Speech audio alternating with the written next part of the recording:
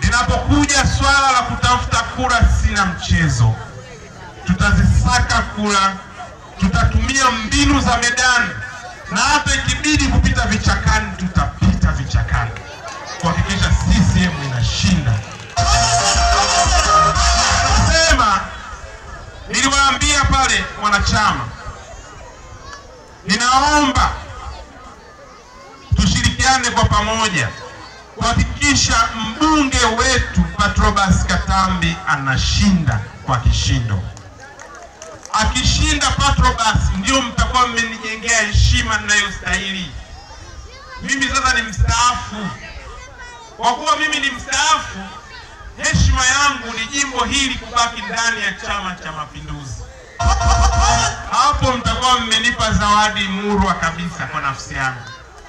Siwezi kuwa mstaafu alafu jimbo hili liko chini ya upinzani, mtakuwa pale nimepungukiwa.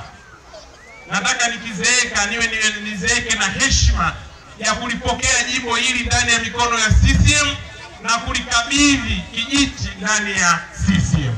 Kwangu mimi, hiyo ndio heshima ninayoitaka kutoka kwenu. Nawaomba ndugu zangu, wangapi mtanichagulia Katambi?